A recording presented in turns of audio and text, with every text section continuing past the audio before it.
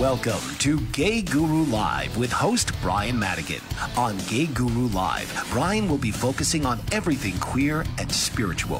Whether you're looking to come to terms with the faith you were born into or to discover something new, Brian and his guests will light the way with insight and humor. So please welcome your host of Gay Guru Live, Brian Madigan. Hi, everyone. You're watching Gay Guru Live. I'm your host, Brian Madigan, and we're coming to you live on the Bold Brave TV network. Welcome, welcome, welcome to episode 13 of Gay Guru Live, the show that's focusing on everything queer and spiritual. So, as we've mentioned and talked about before, one of the things we're trying to accomplish with the show is show queer people regardless of where they may stand on the gender or sexuality spectrum, that there are options for them to engage spiritually. And one of the things that is most challenging for us is the separation between spirituality and religion. We'll be talking a little about that today, and also about discovering this whole idea of the divine, divine feminine, the loss of the divine feminine, and how important that is really for us to reintegrate.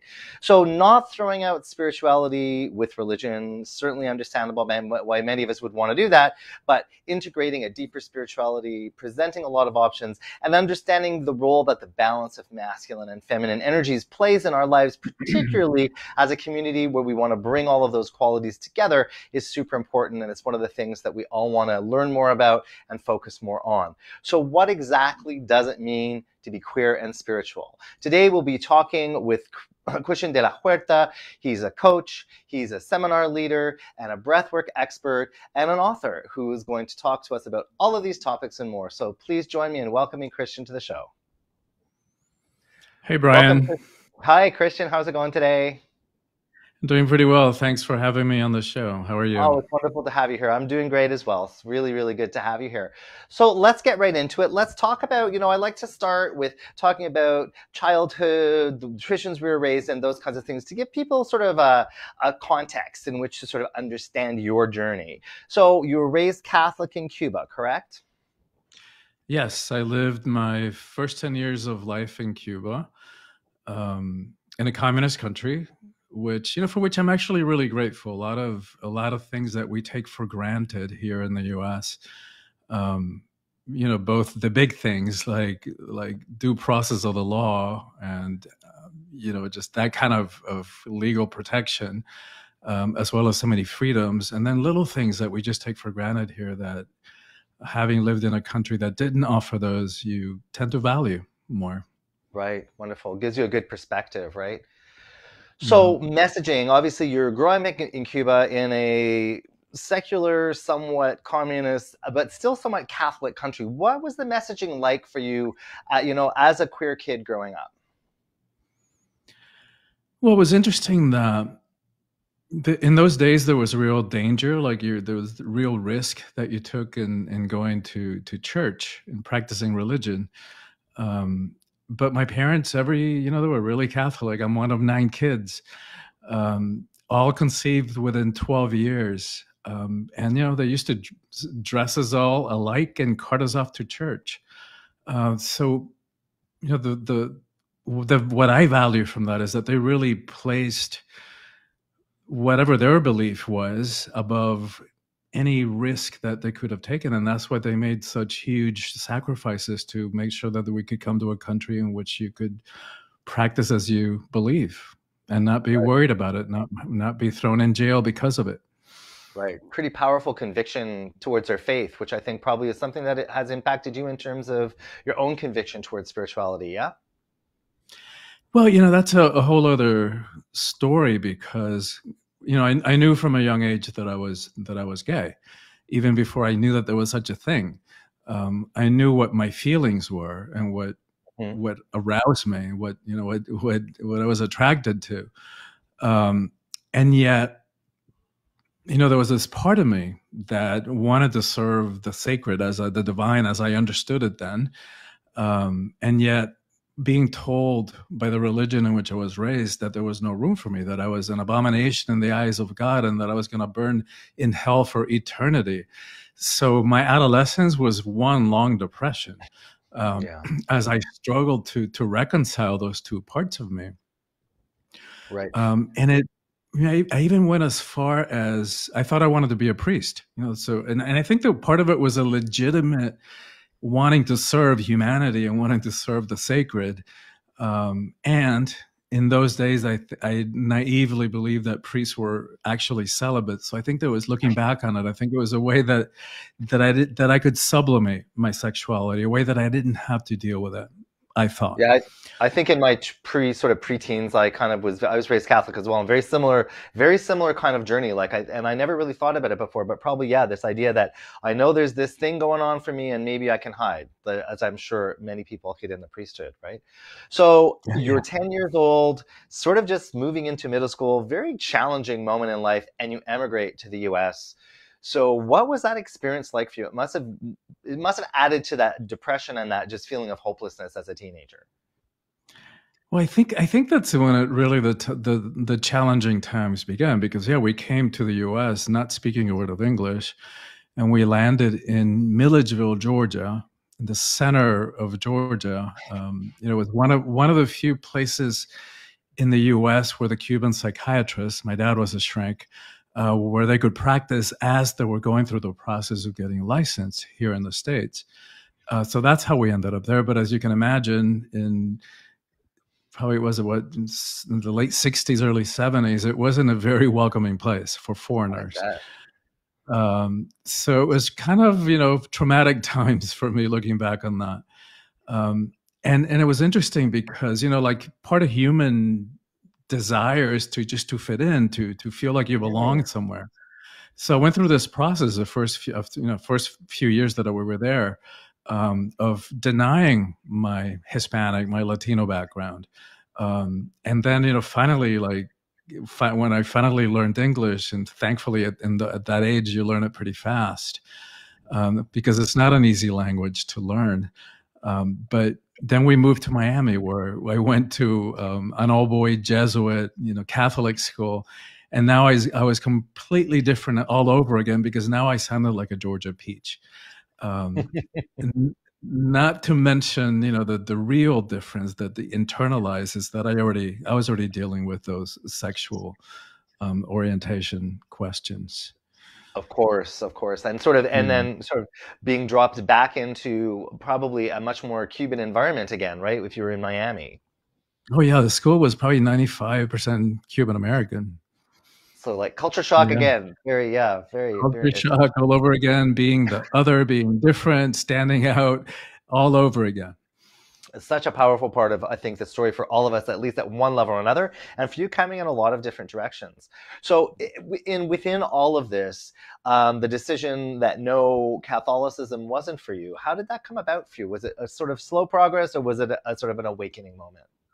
It was no, actually, it was. Um, you know, it's like I actually when when I was a senior in high school. I actually went and I met with the head of the novitiate for the Jesuits in that province, the guy who decided who got in and who didn't. Thankfully, he was a wise man who said, Well, why don't you do at least a couple of years of college and, and then we'll talk. So I did that. And in those years, several things happened. Three things happened. Um, I, first of all, I took a class in philosophy and existentialism, which began a process of questioning the Catholic worldview, which was the only reality that I knew. Mm-hmm. Um, combined with a phase of experimentation with mind expanding substances, which accelerated that process of questioning reality as I understood it. And then I fell in love. And I'd had sex, and I had sex as a teenager, but it was always from, you know, from a place of secret. It was secretive and dark and uh, filled with shame and fear. Um, but I fell in love. This time I fell in love. And I'll never forget, I'll never forget the first kiss because in that moment, I knew that being gay was not a sickness and it was not a sin and it was not evil and it was not an abomination. And in fact, it was so beautiful uh, that from that moment on, there wasn't a priest or a minister or a psychiatrist or a rabbi or an imam who could tell me otherwise. It's like I knew in my core in my cells that that it was a beautiful thing and that there was nothing to be ashamed of. That's that's a great story, and, and actually, again, similar similar to mine. It was that first kiss that I was about 13 when it happened, but it was just that moment where I suddenly realized this is who I am. This is what the difference has always been, and God's perfectly okay with me. And I just knew somehow in my core, despite all of that messaging, that that wasn't really a truth for me. So you explored some psychedelics. You sort of started to open up. When you moved beyond Catholicism, what did you start to explore from a spiritual perspective? Well, it took a while because, you know, like you were alluding to in the in your opening, we confused, you know, I confused spirituality with religion. I didn't know that there were different things. So like many of us, I threw the baby out with the baptismal water. I wanted nothing to do with spirituality, with religion. I wanted nothing to do with it, with a deity, if there was such a thing, who who would have created me as gay and then made it wrong um, right. made it something sinful, maybe something to be exiled from the rest of humanity because of. Um, so most of my twenties, I wanted nothing to do with with that. So I developed, you know, I spent my twenties. I was happy. I was I was in a couple of relationships. I was developing professionally, personally, and as I began to approach, you know, the dreaded three zero, I began to question I began to question myself. You know, it's because it seemed the more that I had and the more that I was, you know, I had a pretty nice, cushy job and I was sought after socially and professionally. But it seemed to me that the more I had, there was like an expanding hole in my gut. Like I kept thinking there has to be more to life than all this. Right. And so towards the end of my as I was approaching that that pivotal time in most of our lives, I began to search again. I began to to look for for meaning and so at this time I looked towards the east. So I started learning about meditation and breath work and um, beautiful. Beautiful. Yeah. All right, it's time for us to take a quick break. Uh, you've been watching Gay Guru Live. I'm your host, Brian Madigan, coming to you live on the Bold Brave TV network with our guest, Christian de la Huerta. When we're back, we're going to talk about that discovery of Eastern philosophy, breathwork particularly, which is such an important part of the work that Christian does with people today. So hang tight. We'll be right back. What if there were a super tiny device that could diagnose the brain and is smaller than a single human hair? What if you could see inside the brain to help an epilepsy patient during surgery or to help the fight against Parkinson's disease? Dr. Patricia Broderick is proud to announce the Broderick Probe, a biomedical and electronic breakthrough. Imagine a probe to help with the understanding and potential cure of brain related diseases. To learn more, listen live to the Easy Sense radio show with host Dr. Broderick, Wednesdays, 7 p.m. Eastern on the Bold Brave Media Network and TuneIn Radio. And to help support the Broderick Foundation, please go to EasySense.com and learn how, with your help, we can fight these horrific brain disorders. That's EasySense.com to learn more and help support the Broderick Foundation. Author, radio show host, and coach John M. Hawkins reveals strategies to help gain perspective, build confidence, find clarity, achieve goals. John M. Hawkins' new book, Coached to Greatness Unlock Your Full Potential with Limitless Growth, published by iUniverse. Hawkins reveals strategies to help readers accomplish more. He believes the book can coach them to greatness. Hawkins says that the best athletes get to the top of their sport with the help of coaches, mentors, and others. He shares guidance that helps readers reflect on what motivates them discover and assess their core values, philosophies, and competencies, find settings that allow them to be the most productive, and track their progress towards accomplishing goals. Listen to John Hawkins' My Strategy, Saturdays, 1 p.m. Eastern on the BBM Global Network and TuneIn Radio.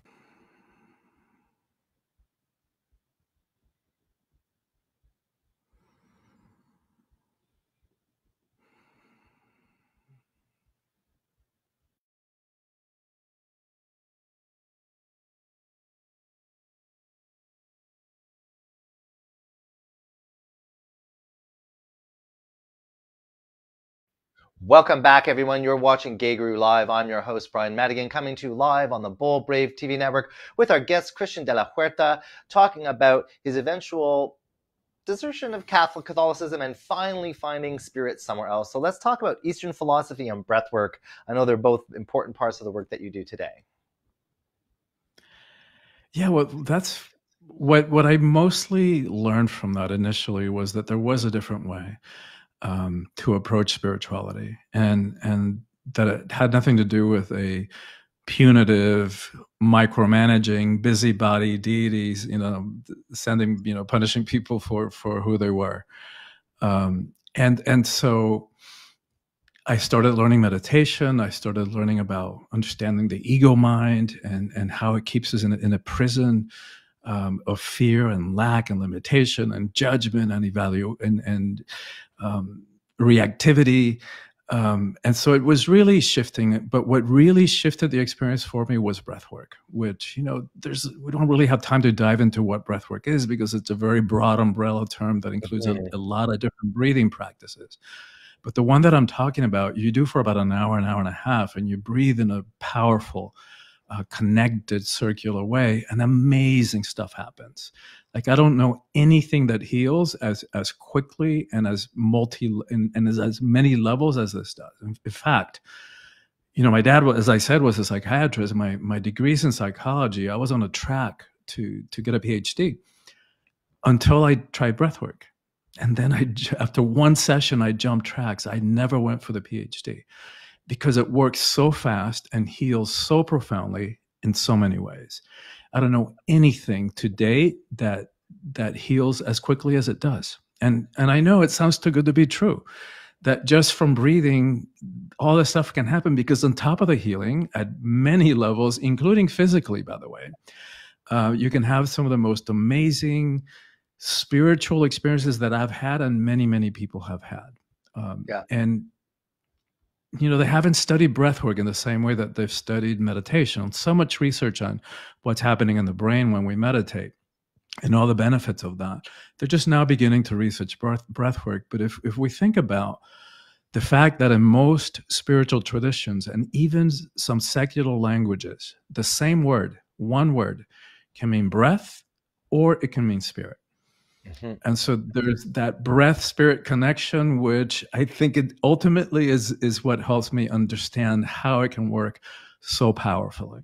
Right. Yeah, I agree completely. And we'll cycle back and talk a little bit more about breath work later because I know it's an important part of the work that you do do with people. So I want to talk a little bit about awakening the soul of power. This whole idea of the soul of power and the word power. So let's just quickly define what soulful power is to sort of get us started. Well, I think I need to zoom out a little bit more and, and sure. presage it by saying that most of us have an ambivalent and I would even say conflicted relationship with power. Absolutely. Like part of us wants it, part of us is afraid of it. And I think what we fear is that if we really stepped into our power, if we really stepped into all of who we are, that other people wouldn't be able to handle it and that we might end up alone, rejected. And you know, who wants that? I think we also fear that we might abuse it. And no wonder. Like, how many abuses of power have we witnessed um, in our lives? And, and I think we, will add to that that we've been conditioned to believe that power is a bad thing with quotes like, power corrupts and absolute power corrupts absolutely. But what they didn't tell us about that quote is that Lord Acton, who spoke them, uh, who spoke those words was speaking specifically about political power, not personal power, which is what you and I are talking about. Right. So when you add to that mix the fact that we've also been conditioned to think that the emotions are bad, that the emotions are weakness, especially as guys, especially as men, you know, like we little boys don't cry because because you know we can get into the whole other conversation about the the meaning of the the, the balancing the the masculine and the, and the feminine. Mm-hmm. But we've we've turned the feminine into something weak. Um, mm-hmm and there's so many faulty assumptions about all that but what happens when we when we put all that into a mix is that we end up giving our power away we end up settling for less we end up saying yes when inside we really feel no we end up overriding our true feelings our desires our dreams our preferences and settling for an illusion of security for morsels of pseudo love and, and for a false sense of acceptance. And so, not a good strategy mm-hmm. um, by any stretch of the imagination. So, what this book is about is, is, is how do we step into power in a different way? How do we step into power in a way that doesn't require that we push anybody down, step on them, put our knee to their neck in order for us to feel powerful? How do we do it in a way that has nothing to do with hierarchy, control, fear, force, domination, manipulation? And so one of the, one of the first steps on that journey of reclaiming our power is understanding that there are different types.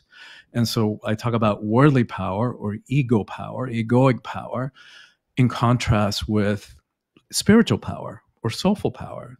So think about, you know, we tend to associate power. The way that the world relates to power is people who who have fame, who are you know have money, who are rich, who are high up in some kind of hierarchy, whether it's a corporate ladder or any kind of organization or, or institution. But the thing about all those kinds of powers is that they're external, they're outside of us. So fickle. You know, here today, gone tomorrow. Mm-hmm. That kind of worldly power always has an agenda too. It's always trying to grab something, to get something for itself. And it's always self aggrandizing, right? right? So blowing itself up to seem bigger than it is. We don't have to go very far back in history uh, to to see great examples of that. Of that. Not at all. um, and and and but the thing is that as exemplified, um, by he who shall not be named, um, that power is is it's just illusory. It's it's mm. there's nothing behind it. Like you you know you face up to a bully and the bully backs backs off kind of thing. So it, so contrast that with what I call spiritual power or soulful power. That's inside each and every one of us, and nobody can give it to us. And nobody can take it away. We are the only ones who give it away. Um, and it's got nothing to prove. Like it just is. So think of of a Gandhi or or a Gandalf, you know, if you're into the Lord of the Rings, in their simple monastic robes, their their sandal feet, from looking at them, you would never know how much power they hold, except when it's needed. And then get out of the way. Gandhi brought the British Empire to its knees when it was at its highest point in terms of global reach and influence without ever shooting a single gun or landing a single punch. That's power. Yeah, amazing power. So obviously in order to even move in that direction, we need to the first thing we clearly need to do is heal our relationship to power. So how how do you see people going about doing that or starting to do that? Well, I mean, I've been working on on that for probably 10, 12 years in, in retreats. And so, yeah, it works. For, and for the first part, as you were talking about before, is understanding, like understanding our relationship to power and why we believe the things we do. Right. So, for example, like I work with a lot of women too. Um, and they have a lot of them have the subconscious belief that if they really stepped into their power, that no man would ever want to be with them.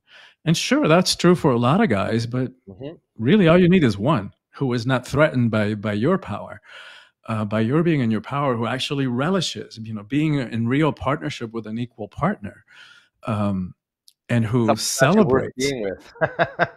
Someone who's actually worth being with. Yeah, yeah, and and so understanding that, and then like understanding our beliefs about power and starting to deconstruct why we believe the things we do and then understand the patterns around power, the behavior patterns, the relationship patterns. Like, do I tend to give my power away in, in romantic, intimate, sexual relationships?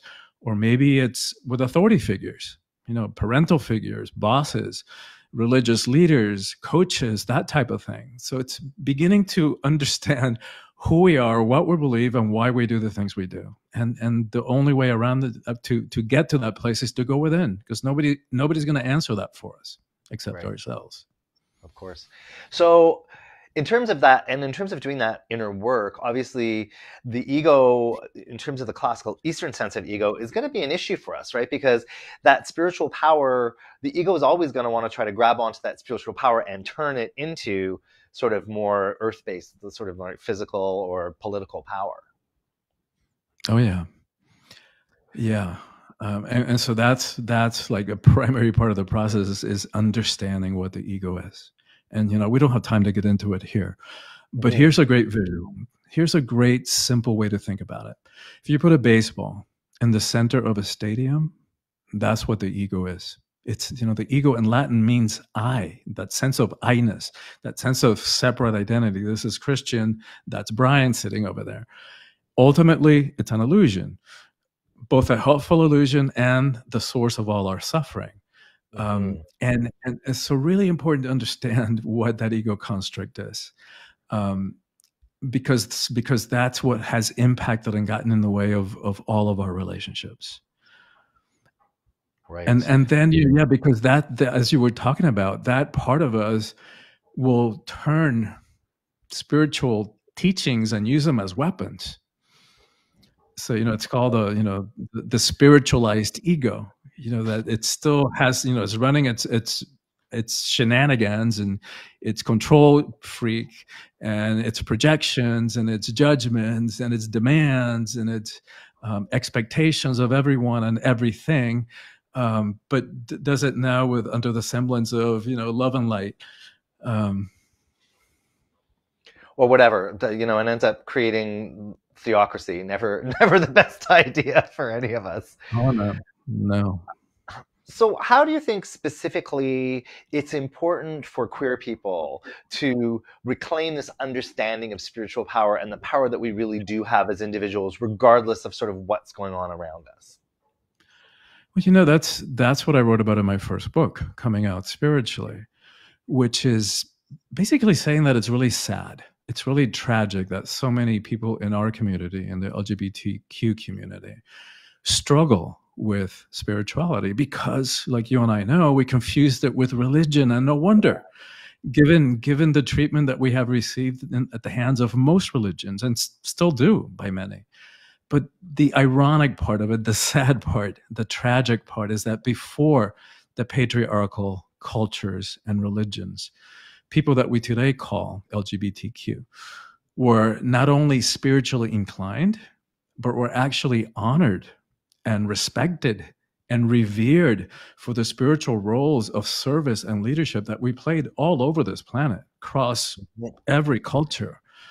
Um, and so, what the what I did in that book is name ten spiritual roles or archetypes that we used to that we have always played throughout history like mediators or scouts of consciousness or keepers of beauty um, that to me are you know spiritual functions um, that that brings so much value to this to this world. So that we can begin to reclaim our innate spiritual nature. You know it's it's just as ludicrous to reject our spirituality as it is to try and reject our sexuality which many of us try to do as well. You know they're both parts inherent parts of our humanity. And and so part of this process of spiritual growth and transformation and evolution is integration integrating all these parts of our rejected humanity. And the word to integrate comes from integer which means whole number. Um, you know same root as, as integrity. So so we want to reclaim and find ways of expressing that are a match for who we are so that we can become whole again. Right. So would you would you say that the the essence of soulful power really is the person being able to be that integrated whole person, bringing as many of those disowned parts as possible together, so there's like a single functioning, awakened person, really, if we want to use sort of a more Eastern term. I, you know, I love I love that. I hadn't phrased it in just that way, but I think it totally applies. Um, Beautiful. I think okay. I think that is where where soulful power resides. Is soulful power is our authentic power.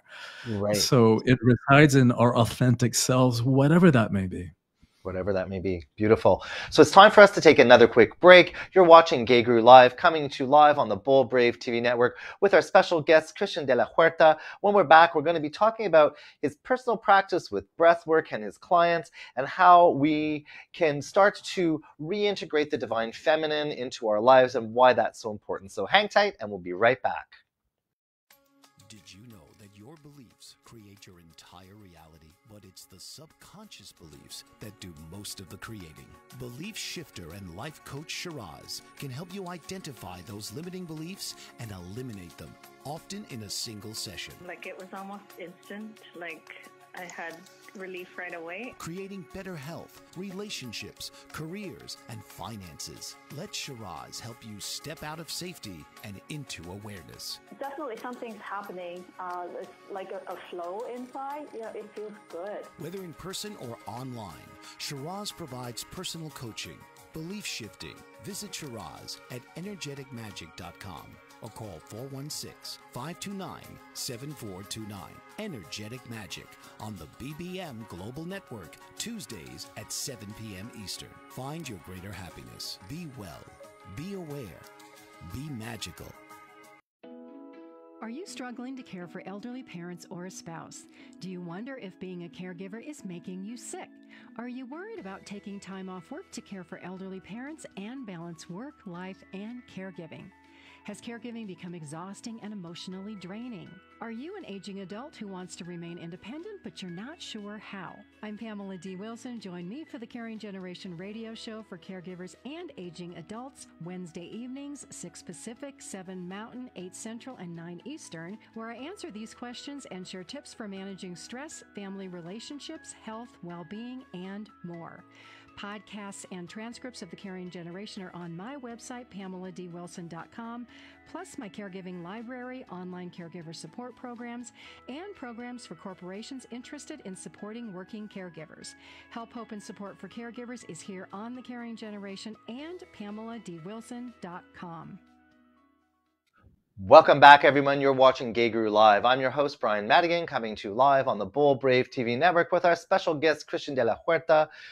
So, Christian, in Awakening the Soul of Power, you talk a lot about reclaiming, re understanding the divine feminine, and how that helps us move into a redefinition of masculinity and the masculine that will be healthier and better for all of us in the world. So, can you speak to that a little bit?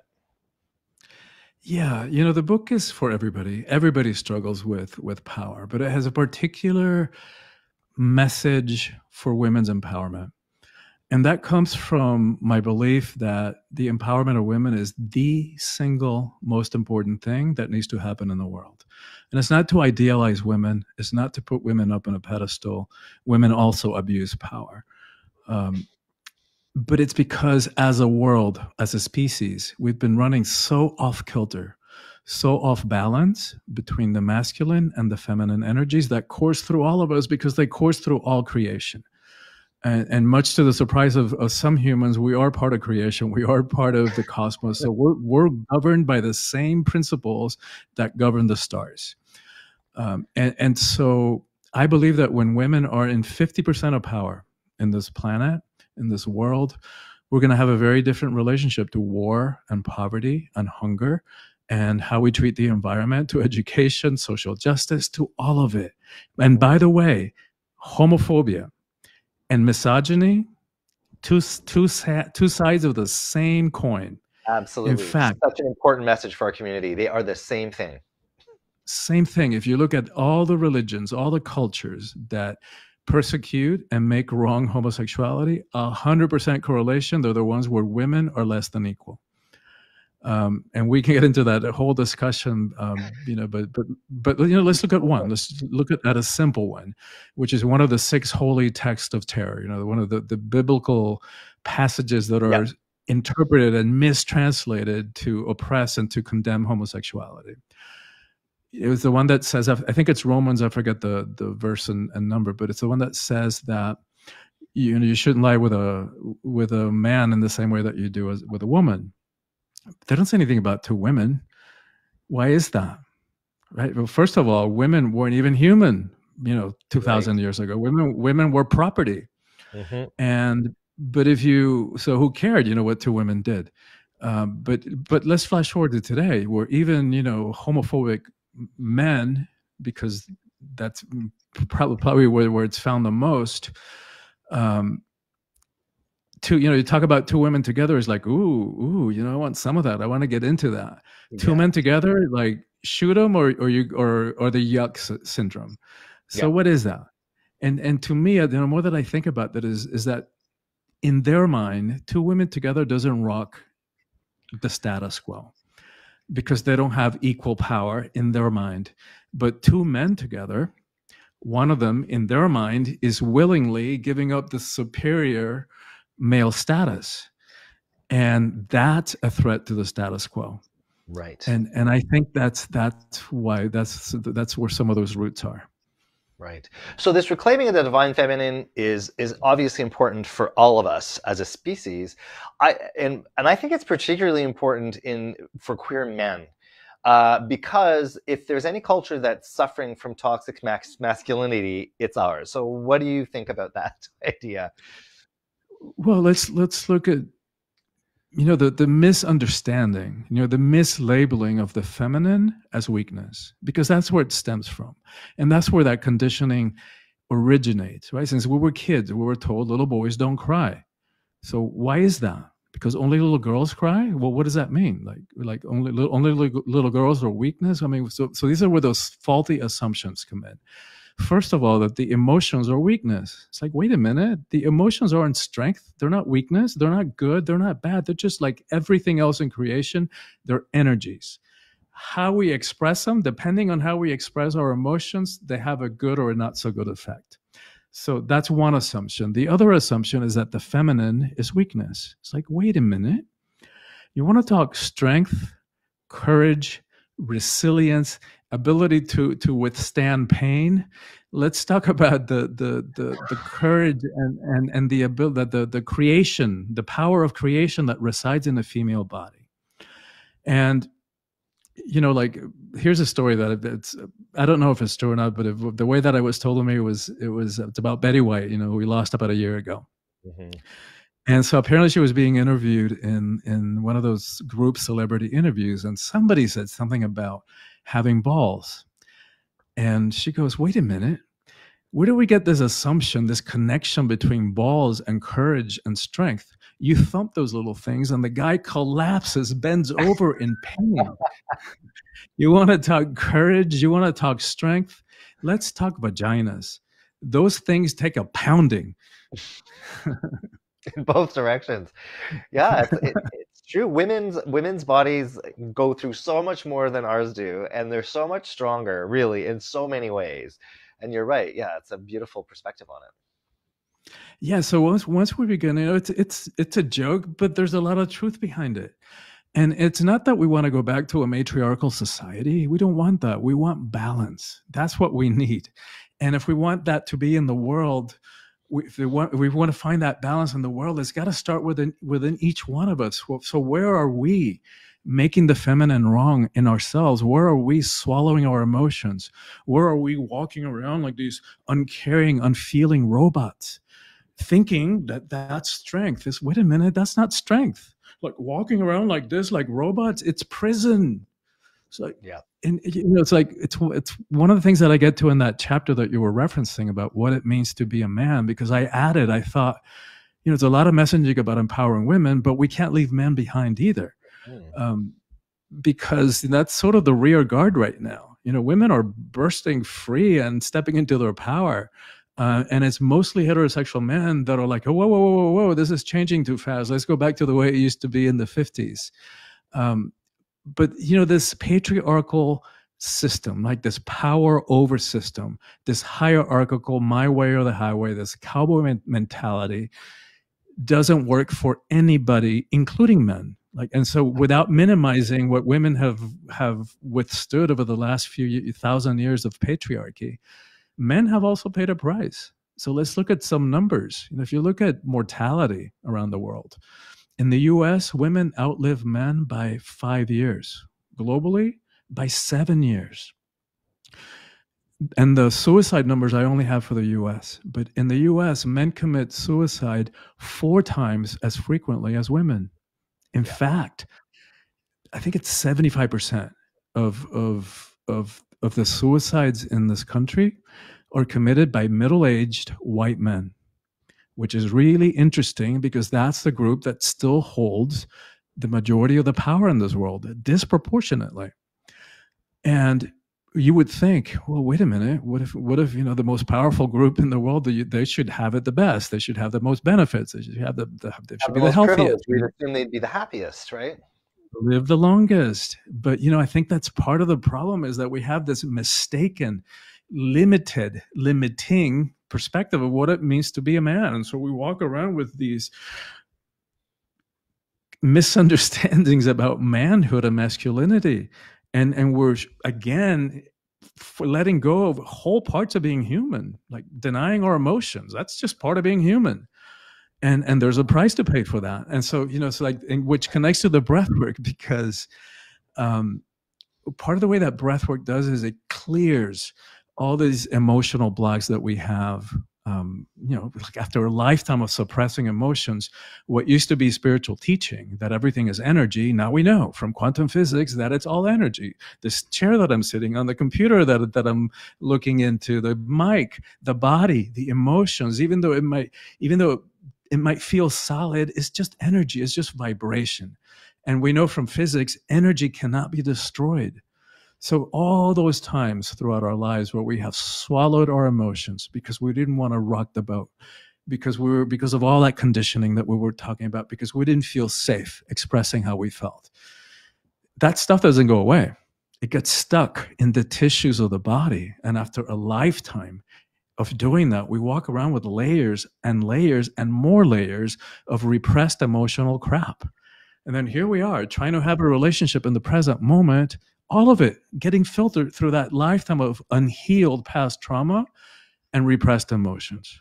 Right. Yikes. And that's a really beautiful sort of way to segue back to breath work. I know that you do a lot of breath work with your clients. I'd like just to talk a little bit about sort of the, the way that works, because I agree with you. In every tradition, every tradition that I've looked at, all the earth-based traditions, certainly, breath, breath is life. Breath is everything. And in, it's interesting, in Hawaiian, the word haole, which we usually just assume means white people, one of the possible translations is the people who can't breathe. So the Hawaiians see us breathing from the top quarter of our lungs and go, "Whoa, these people can't breathe. No wonder, no wonder." Right? So that idea no of wonder. breath as liberating, as bringing us into ourselves and letting us see things that were invisible before. I'd love to touch on that a little bit. Yeah, yeah. In Hawaiian, ha means breath. Means breath. And so when you know when you, when you see in we used to see like whether you know Alaskan Inuits or Hawaiians you know greeting each other by putting forehead against forehead, what they were actually doing was exchanging breath. Like I would exhale and then you would breathe my inhale and then vice versa. Um, so it's it was a really profound act, and that's why they called the haoles, which is a pretty you know negative term in in Hawaii.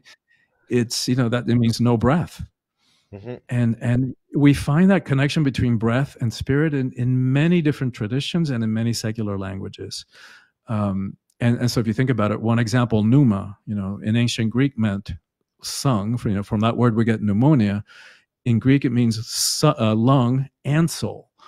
Uh, from and from the latin spirare from that root we get both respiration and inspiration or expiration so it's that connection is is is everywhere. So what happens when we do breath work when we fill ourselves with that like really powerful way not just going through you know the way we normally breathe but with intentional breathing conscious breathing it goes into the tissues of the body and it clears those emotional blockages.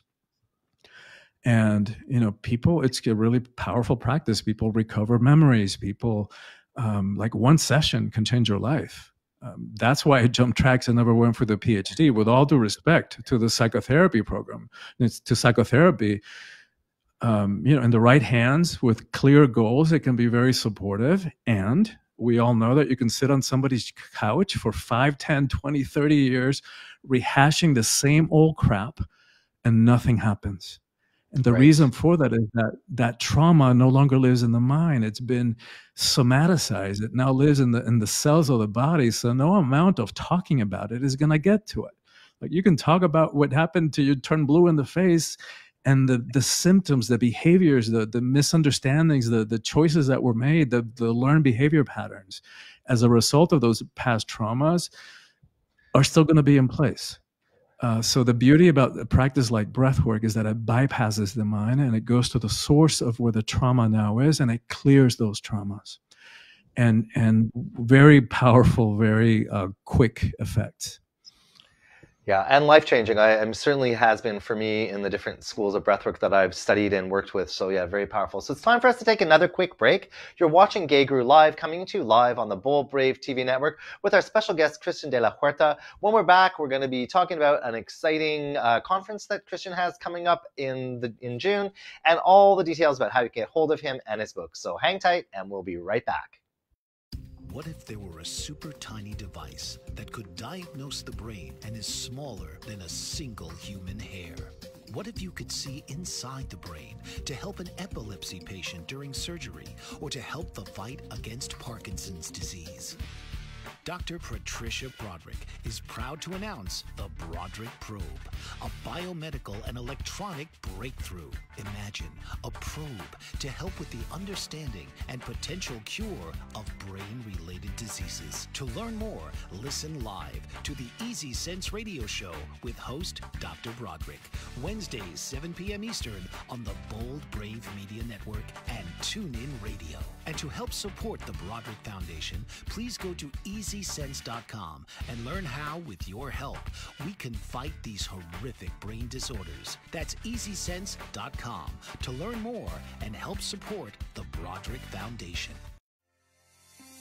Author, radio show host, and coach John M. Hawkins reveals strategies to help gain perspective, build confidence, find clarity, achieve goals. John M. Hawkins' new book, Coached to Greatness Unlock Your Full Potential with Limitless Growth, published by iUniverse. Hawkins reveals strategies to help readers accomplish more. He believes the book can coach them to greatness. Hawkins says that the best athletes get to the top of their sport with the help of coaches, mentors, and others. He shares guidance that helps readers reflect on what motivates them. Rediscover and assess their core values, philosophies, and competencies. Find settings that allow them to be the most productive and track their progress towards accomplishing goals. Listen to John Hawkins' My Strategy, Saturdays, 1 p.m. Eastern on the BBM Global Network and TuneIn Radio. Welcome back, everybody. You're watching Gay Guru Live, coming to you live on the Bold Brave TV network with our special guest, Christian de la Huerta. Christian, you have a virtual conference coming coming up in June. Tell us all about it. Well, it's exactly what we were talking about before. It's, it's to help our community, the LGBTQ community, reclaim our spiritual heritage. So it's going to be over a week. We're going to have, you know, 25, 30 speakers from different traditions representing all, the, all those letters of the alphabet, um, you know, making it as, as inclusive as possible. Um, and it'll be free, a free conference, and all they have to do is you know get, get on my email list. Um, so probably the best way to do that is go to my website, which is soulfulpower.com, S O U L F U L power, P O W E R dot com, and uh, anybody who gets on my email list will will send them a um, a copy of uh, some of the power practices from this latest book. We'll send them a sample chapter from the book and and we'll send them a guided meditation that I created um, in the midst of the pandemic, just to how do we find a place of trust and a place of center in the middle of of chaos. Yeah, um, yeah, beautiful so yeah, really exciting. I that it, that sounds like an absolutely wonderful thing. I I will certainly be attending now that I know about it. Um, so you've already given us your website. We know how to get hold of you there. Um, contact information is there for anybody who's looking for it. Let's talk a little bit about the books and how you get hold of them. I know there's two books out there and more books coming. So talk about your life as an author. Yeah, you know, thank you for asking that. It, of all the things that I do, that's what I resist the most is is writing, and and, and I know I'm a good writer, um, but it's for you know some people love it, some people get lost in it. That's not the case for me. For me, it's work, um, and it's part of what you know. It's part of my job description, part of what I have to do to get my message out there. Um, and so the books are available wherever books are sold. You know, can, you can have it ordered at your local bookstore if you want to support them, uh, or you can get it on Amazon or any of those book selling um, websites online. Beautiful. So there's also a Facebook group called Unleash Your Inner Hero. Talk a little bit about what that's about, why it's there, and how people can join. Well, this the, and the and the book is this latest book, Awakening the Soul Power, is part of a series of three. The the next one that I'm about halfway done uh, with it's on relationships, how to do relationships consciously, which is one of the themes that I that I you know that I take on retreats.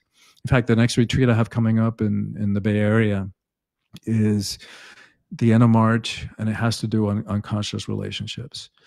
Um, so, what does it mean to be a hero?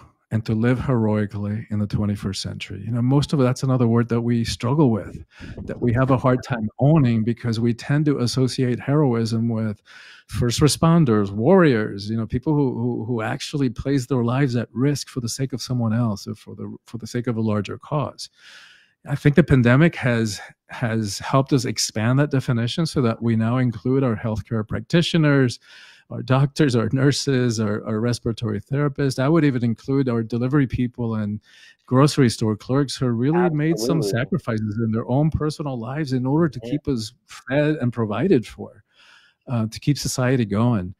But what about the rest of us? So that's what the the book is about. That's what this this chapter is about.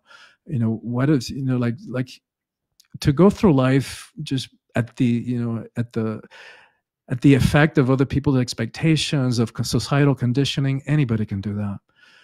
To be willing to ask the hard questions, to look at ourselves, to dive deep within, deep within, to um, face our our fears, our our shadow, our inner demons. That's heroic. It takes work. It takes courage to be able to do that you know, reacting and splattering somebody over the wall, you know, on the wall whenever they did something that hurt us or that we interpreted as as hurtful. Um, anybody can do that.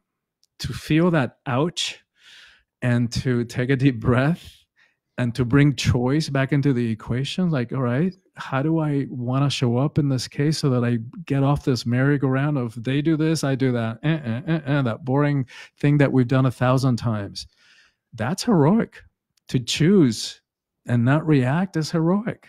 And so those are just a couple of the ways in which um, we all have access, right? We all have a, an inner hero. So the book, the Facebook, the Facebook group, my retreats are all about helping us unleash that and and step into our own power, step into our own um, purpose. You know what we're really here to do. Beautiful. So do you have a closing message or closing remarks that you'd like to share with our audience? Well, I would say for everybody that that there is a way that we can reclaim our power and step into our power that is a match for who we are. Right? That that doesn't, like I said before, doesn't require that we push anybody down or step on them, or abuse it, or be corrupted by it. Those are just misunderstandings around power. Um, and for our LGBTQ sisters and brothers, um, you know that it's important that we find a way to to connect with our innate spiritual nature. Um, it's just again part of who we are, just like our sexuality is, and and to find ways of expressing that um, in a way that is a match for us. Um, again, and and that's where we're going to find our our sense of purpose. Beautiful. Christian, thank you. Anybody listening to this who, who stayed through the whole thing? No, I, I was just going to say that anybody who's who's still with us knows that there isn't anybody out there who's who know who's going to make us happy. And how unfair to put that expectation on somebody else. You are going to make me happy. Yikes! So the only thing that's going to make us happy is is discovering who we are and giving expression to that fully in the world. Beautiful. Christian, thank you so much for being with us today. It was a great conversation. I think a lot of people are going to get a lot out of it. And uh, hopefully, we've helped you fill that June virtual conference. thank you so much, uh, Brian. I really appreciate you and the conversation. And I'm so grateful that you reach many, many, many lives. Great. Thank you so much. So, breath is life. I think we got that point across fairly clearly today. Also, this idea of reclaiming the divine feminine. In almost every earth based tradition, the belief is that our higher self, our most evolved self, is equally balanced masculine and feminine energy, that anything else is illusion. So, it really is becoming our whole selves, is reclaiming this divine feminine in a patriarchal culture that is over accentuated, frankly, a lot of the negative qualities of masculinity and has caused problems. So, you've been watching Gay Guru Live. If you like this episode, please do me a favor and click like on whatever you're watching or listening to this on. If you know somebody who would benefit from the information we share today, please go ahead and share the link with them. It would mean the world to us to expand our audience and expand the impact that we can have, showing queer people that there are paths forward into spirituality that can match just about anybody's desires and needs. So, again, you've been watching Gay Guru Live, coming to you live on the Bold Brave TV network. I'm your host, Brian Madigan, signing off for now, and we'll see you all next week. You've been watching Gay Guru Live with your host, Brian Madigan. As queer people, many of us have been rejected, even traumatized, but there are new ways forward that will allow you to discover the path that's right for you. Right here, Wednesdays, 4 p.m. Eastern on the Bold Brave TV network.